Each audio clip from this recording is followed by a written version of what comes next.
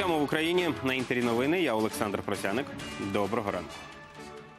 У лікарні імені Мечникова в Дніпрі помер український боєць, який отримав важкі травми під час обстрілу 25 серпня. Раніше лікарі повідомляли, що зробили складну операцію, тім врятувати життя військового не вдалося. Сержант Олександр Грицаюк із Черкащини служив у 24-й бригаді імені короля Данила. Йому було 48. Нині в лікарні залишається ще один боєць, який був важко поранений того дня. На Донбасі російські найманці 9 разів порушили режим припинення вогню. Бойовики обстрілювали позиції підрозділів об'єднаних сил із заборонених мінськими угодами мінометів 82-го калібру, також із гранатометів різних систем, великокаліберних кулеметів і стрілецької зброї. Під ворожий вогонь потрапили позиції поблизу Миколаївки, Водяного, Луганського, Зайцевого та Новолуганського. У штабі наголосили, підрозділи об'єднаних сил дотримують умов припинення вогню. За минулу добу в районі операції об'єднаних сил затримали шістьох громадян, яких підозрюють у причетності до незаконних збройних формувань. Під час перевірки документів на блокпосту неподалік Маріуполя військовослужбовці виявили двох жінок і чотирьох чоловіків, які намагалися проїхати в Україну рейсовим автобусом. Усіх правопорушників передали працівникам національної поліції. Україна рішуче налаштована на проведення реформ, боротьбу з корупцією і підтримку і розвиток бізнесу. На цьому наголосив президент Володимир Зеленський на зустрічі з віце-президентом США Майком Пенсом, що відбулася у Варшаві під час меморіальних заходів з нагоди 80-ї річниці початку Другої світової війни. Сторони обговорили ситуацію на Донбасі і покрокову стратегію повернення миру. Пенс запевнив, США не змінять позиції щодо підтримки територіальної цілості та суверенітету України. Ми е, зареєстрували е, в перший же день 74 біля того е, закони, які допоможуть реформувати українську систему, які допоможуть не тільки боротися, а перемогти корупцію наприкінці. Ми запускаємо антикорупційний суд. Дочекались. Наша команда його запустила 5 вересня. Він починає працювати. Близько сотні людей перекрили автомобільну дорогу у Первомайському на Харківщині. Так, батьки школярів і вчителі протестували проти закриття шкіл. Подробиці знає Світлана Шекера. Зранку на дорозі в Первомайському збираються люди. У руках папірці із написами «Не закривайте наші школи».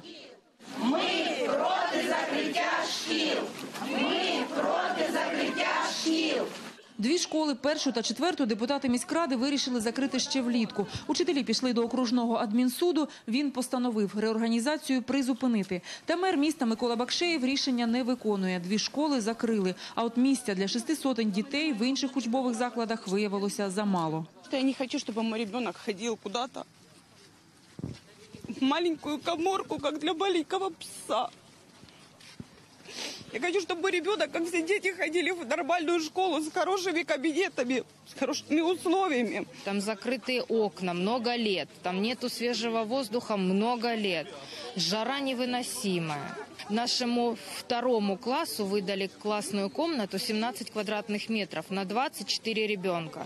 Учні теж з плакатами кажуть, у нову школу, куди їх хочуть перевести, ходити буде дуже далеко. Я тут, потому что мне нравится четвертая школа. Я иду до школы где-то 4 минуты. До сьомої тобі далеко. Да, очень. Вчителі кажуть, у класах, куди переселяють дітей, нову українську школу організувати не вдасться. Коли я з батьками зайшла до того класу, ми були не то, що сказати, в шоці. Ми були нас просто ми заклякли на місці, тому що. Е, Нема санітарних умов. Лінолеум там був знятий, засланий якийсь старий, е, він зіпсований, е, рукомийник знятий, е, електрична проводка висить, е, дошки нема сучасної, стіни там грибок є. А в школі номер 3 для четвертого класу класну кімнату облаштували, загородивши частину коридору. Класс, который дали ученикам четвертого класса, оборудовали на месте туалета. От парты к доске буквально один метр, а на место унитаза поставили парту. Транспортного колапсу не сталося. Поліція спрямувала транспортний потік в об'їзд. Мер до протестувальників не вийшов. По телефону сказав, таких акцій не підтримує. з боку е, міської ради було організовано безпека. Ті акції, хоч ми і не поділяли, всякі флешмоби на пішохідному перехресті. Люди мають право на мирний протест, вони їм скористалися. Батьки ж зупинятися не збираються. Якщо їхніх вимог не виконують, перекриють залізничний рух. Світлана Шекера, Олександр Яновський, телеканал Інтер, Харківська область. 100 кілометрів на велосипеді у Києві напередодні відбулося вже традиційне змагання Київська сотка. Цього року охочих випробувати себе на міцність назбиралося понад дві тисячі. Серед них як професійні спортсмени, так і аматори. Іванна Ілліна розкаже більше. Вікентій та Бетті з велосипедної сім'ї долати відстань цих песиків привчили одразу. На двоколісних разом із власниками вони подорожують та беруть участь у змаганнях. 100-кілометрову дистанцію, зокрема у Києві, усі разом долають п'ятий рік поспіль. Вони знають команди, вони знають е, ліве вухо це пити, а праве вухо це в туалет. Тобто, якщо вони гризуть або лижуть, е, це, це свідчить про те, що вони щось хочуть. Беті вже добре знає команди, а Вікентій ну со-со. Е, ми практично всю Україну об'їздили з ними, але ну на превеликий жаль, ми їх за кордон не беремо, тому що там дуже довгі подорожі. А от 60-річний Олександр на київську сотку приїхав уперше. Мандрувати світом на велосипеді почав, коли вийшов на пенсію. Відтоді встиг побувати у багатьох містах України та навіть за кордоном. Я аматор, е, категорія моя е, старше 60 років. От, е, тому ну, на тумбу я, мабуть, не стану, але якщо достойно я приїду, то це вже для мене дуже велика заслуга. Хочеться от, отримати атмосферу і щоб якось себе відчути молодше. Ця сотка для Києва вже шоста. Щороку, за словами організаторів, кількість учасників збільшується. І якщо у 2014-му на марафон з'їхалося 770 любителів велоспорту, то цьогоріч їх понад дві тисячі. Участь беруть і професійні спортсмени, і аматори. Між собою змагаються на шосейних, гірських байках та навіть на велосипедах Україна. Цього року ми додали 50 кілометрів до нашої традиційної 100-кілометрової дистанції для того, щоб максимально розширити кількість людей, які би хотіли спробувати себе. Але мушу сказати, що невеликою популярністю скористалась дистанція в 50 кілометрів. Приблизно до 15% учасників е, всього лише їдуть 50, решта їдуть повну 100-кілометрову дистанцію. Маршрут для марафону обрали нелегкий з чималою кількістю спусків та підйомів. Та тим, хто любить цей спорт, впевнені учасники він до снаги. Івана Іліна, Володимир Дєдов. Новини телеканал Інтер. До семи зросла кількість загиблих внаслідок стрілянини в американському місті Одеса, штат Техас. Ще 22 людини поранені. Нагадаю, інцидент стався в суботу на автостраді. Патрульна поліція намагалася зупинити водія автівки, що порушив правила дорожнього руху. Той не зупинився, натомість відкрив вогонь по патрульних та намагався втекти на великій швидкості. Зрештою його застрелили. За даними змі, за кілька годин до трагедії чоловіка звільнили з роботи.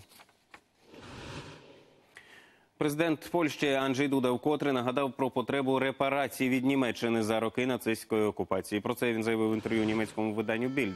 За його словами, військові дії завдали країні величезної шкоди. Майже 6 мільйонів поляків загинули, а міста перетворилися на руїни.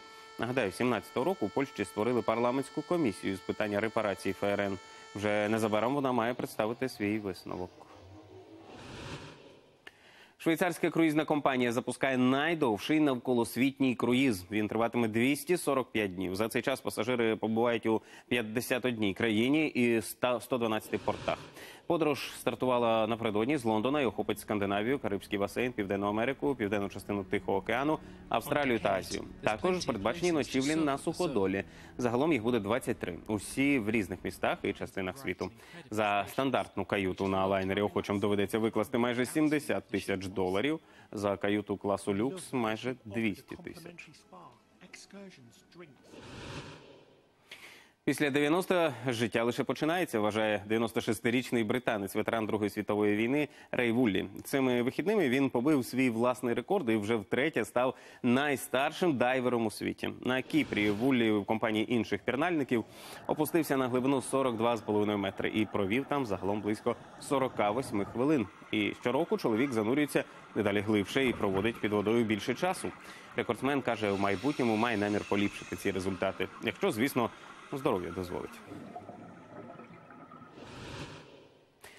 Ну і поки що це все. Наступний випуск вийде о 8 годині. Тоді побачимося. До зустрічі.